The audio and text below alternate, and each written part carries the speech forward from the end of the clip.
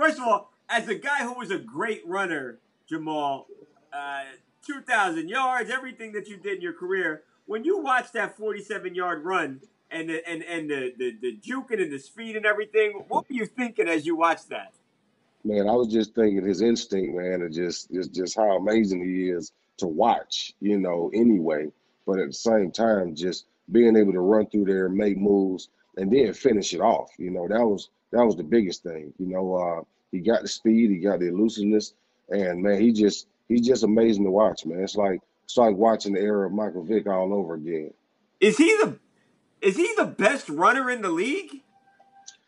I think he is the best runner in the league, and and and before long, he's going to be one of the best runners in, in, in Ravens history if they keep letting him run like that. He's gonna he's gonna catch my yards. So I'm watching him closely. But no, he's uh I think he is one of the best runners in the league. But he does have an advantage because he is playing the quarterback position. But at the same time, the things that he's doing, man, with his legs and moving the chains is just it's just amazing. And you know, going I think 15 for 17 yesterday as well. You know, he's throwing the ball well too. So he's he's answering all the questions that everybody had at the beginning of the season. Right. And I think I think we mean the same thing here. When I say best runner, I don't mean best runner for a quarterback. I mean flat out best runner. Like Oh yeah.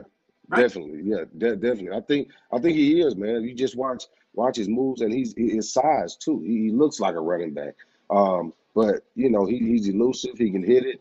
He, he's not afraid to take contact either, if you could tell that. But he's smart with the ball and he, he carries the ball well. I I think I don't think he's had a fumble yet. I don't think. I don't want to jinx him, but I don't think I haven't seen one. But he, takes care of the ball and he's a he's a great runner. I think that you know a lot of people say that he might slow down and as he gets a little older and all of this stuff or whatever. But at the same time, he's a quarterback and he's just building his base as a passer too.